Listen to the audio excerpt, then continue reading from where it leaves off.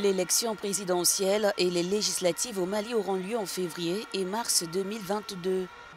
Ce double scrutin s'inscrit dans le cadre du respect de la durée de la transition. Sous la pression internationale, les colonels qui ont renversé le 18 août 2020 le président Ibrahim Boubacar Keïta avaient mis en place entre septembre et octobre des organes de transition et s'étaient engagés à rendre le pouvoir sous 18 mois à des dirigeants civils élus.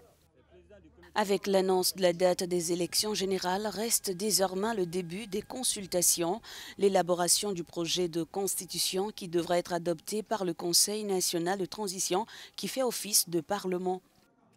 Des élections régionales et locales auront également lieu le 26 décembre.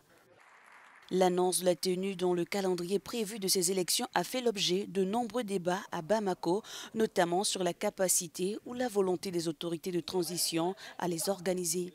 En février dernier, dans son discours de politique générale, le Premier ministre du gouvernement de transition Mokhtar Ouane avait indiqué que tous les moyens seront mis en œuvre pour organiser des élections libres et transparentes.